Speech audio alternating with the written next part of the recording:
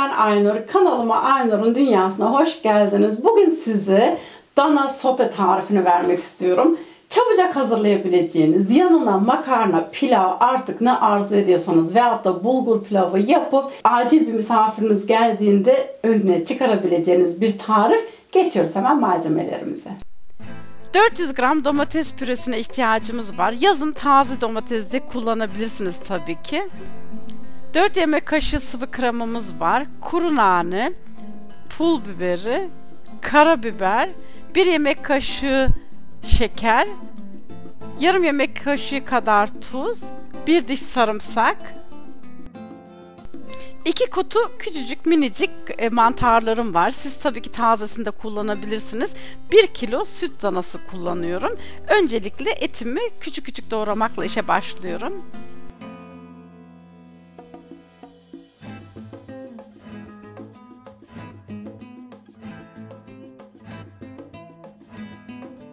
Bir tane kırmızı dolmalık biberim var. Siz kapya biberi kullanabilirsiniz. Bunları da küçük küçük doğruyorum. Önce etimi tencereme alıyorum ve tamamen suyunu çekene kadar kavuruyorum.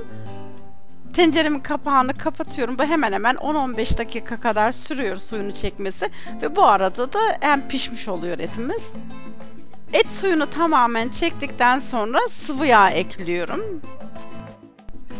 Kırmızı biberimi ve sarımsağı da ekledikten sonra kavurmaya devam ediyorum. Bütün malzemeler kavrulduktan sonra domates püresini ekliyorum. Tuzunu ve baharatlarını da ilave edip şekeri de ekliyorum ve karıştırıyorum.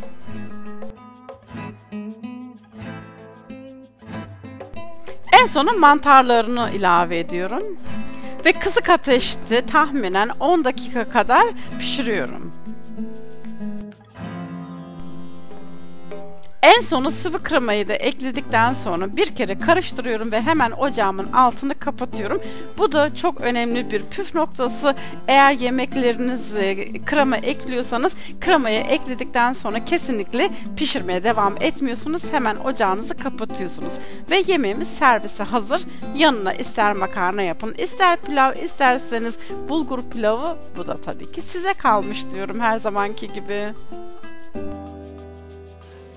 Tarifim de hoşunuza gitmiştir. Deneyecek olanlara şimdiden afiyet olsun diyorum. Beni desteklemeyi ve de videolarımı paylaşmayı unutmayın diyorum.